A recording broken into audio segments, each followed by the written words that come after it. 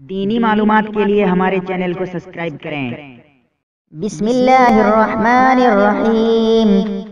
حدیث میں آتا ہے وَبْدَأْ بِمَنْ تَعُول بخاری شریف رقم الحدیث 1426 پر یہ الفاظ موجود ہیں۔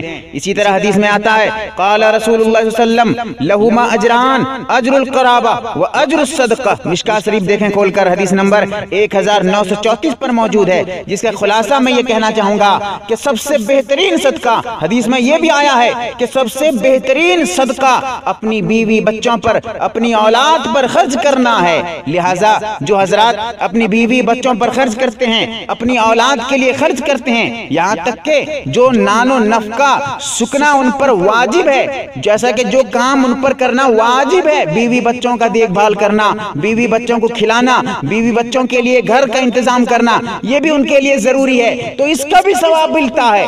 یاد رکھیں بیوی بچوں پر خرچ کرنے کا بھی ثواب ملتا ہے ایسا نہیں ہے کہ جو ہم صدقہ کرتے ہیں غریب کو دیتے ہیں صرف وہی صدقہ ہے۔ اسی کا ثواب ملتا ہے یہ غلط بات ہے۔ وہ تو صدقہ ہے۔